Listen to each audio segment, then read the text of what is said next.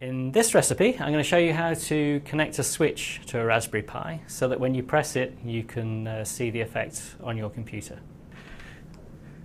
Okay, so here's the little type, the switch we're going to use. It's a little, they're called tactile push switches, and they're great for using with breadboard because they just have four little pins like that, and they will fit in across the central divide between the two halves of the breadboard like that.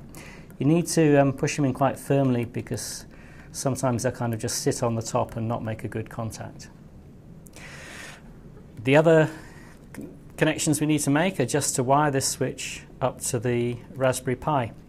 One important point before you do this is that you make sure that the Raspberry Pi has either been rebooted, well, just make sure it's been rebooted is probably the safest way, um, because if the pin was last used as an output and you wire it up to a switch and then you press the button, it'll actually short circuit the output to ground.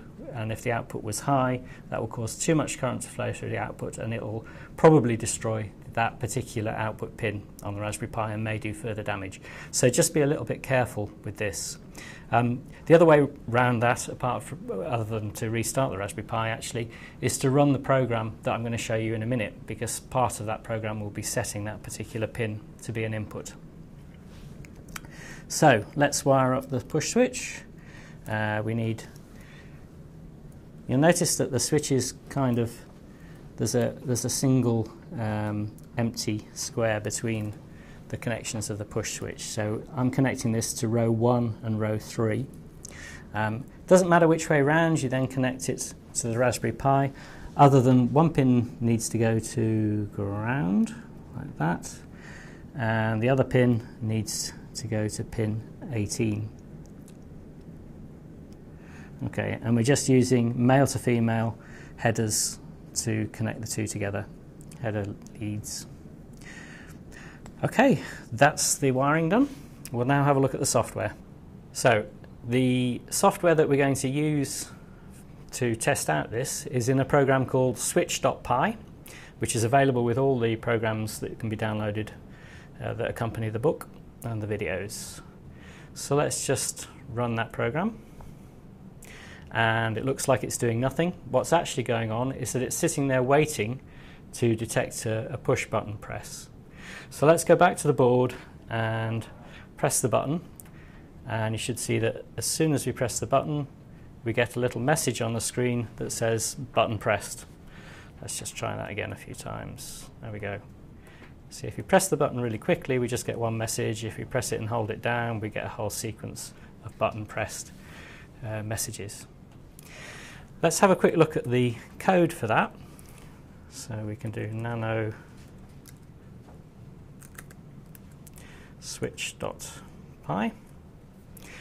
And you can see that as usual we have to import rpi.gpio and we're also importing the time module.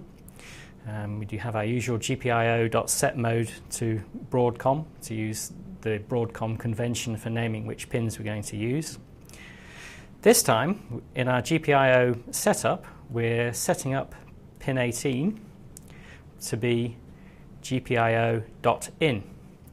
And we then have this extra parameter here called pull up down equals gpio.pud underscore up. And PUD stands for pull up and down. So pull up and down up. This is rather a complicated way of saying we want the default for the pin to be high, to be up, to be 3 volts, which is why we connected the switch between ground and GPIO pin 18 so that when we press the switch what it'll actually do is drop the, uh, the voltage on the switch down to zero volts. So let's have a look at where the message that said button pressed appears, why, why that appears. So our while loop will just continue forever or until we press Control C and we say um, input state, this is a variable we've defined, is equal to gpio.input on pin 18. So GPIO.input reads the value that's available on that particular GPIO pin uh, and it'll either be true or false. So we then say if input state is equal to false, Um, that actually means the button is pressed. It seems a bit counterintuitive, but remember when the button is pressed, it connects the GPIO pin to zero volts. And so that's why we do have the expect the input state to be false if the, um, if the button is pressed. We then have this line here that does time.sleep 0.2. So what all that does is just pause for a fifth of a second. Because otherwise, if we just press the button, um, we'd get a whole stream of messages shooting past saying that the button is pressed. So this just kind of reduces the message count a bit. Okay, that's how you use a push switch with a Raspberry Pi.